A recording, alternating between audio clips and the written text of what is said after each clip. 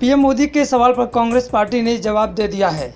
कांग्रेस नेता ने कहा कि कांग्रेस सिर्फ़ मुसलमानों की नहीं, हर समुदाय की पार्टी है और सबका प्रतिनिधित्व करती है। कांग्रेस ने आगे कहा कि इस मुद्दे पर पीएम मोदी लगातार रैलियों में गलत बयानबाजी कर रहे हैं। उन्हें अपने बयान के लिए देश से माफ़ी मांगनी चाहिए। मुसलमानों की नहीं, सभी समुदाय की पार्टी। प्रधानमंत्री नरेंद्र मोदी यूपी के आजमगढ़ में रैली के दौरान कांग्रेस पार्टी से सवाल पूछा था। कि कांग्रेस पार्टी सिर्फ़ मुसलमानों की है। इस पर कांग्रेस पार्टी के वरिष्ठ नेता व प्रवक्ता आनंद शर्मा ने रविवार को पीएम मोदी के सवालों का जवाब दे दिया है। उन्होंने कहा कि हमारी पार्टी केवल मुसलमानों की नहीं, सभी समुदायों की पार्टी है। आनंद शर्मा ने कहा कि कांग्रेस का इतिहास बहुत गरिमामय रहा है और महात्मा गांधी, मौलाना आज़ाद से लेकर नेहरू तक इसके अध्यक्ष रह चुके हैं, जिन्होंने हमेशा देश के हर समुदाय को साथ लेकर चलने की बात को कहा था। शर्मा ने पीएम से कहा कि इस तरह का बयान देने से पूर्व कांग्रेस का इतिहास देख लेना चाहिए।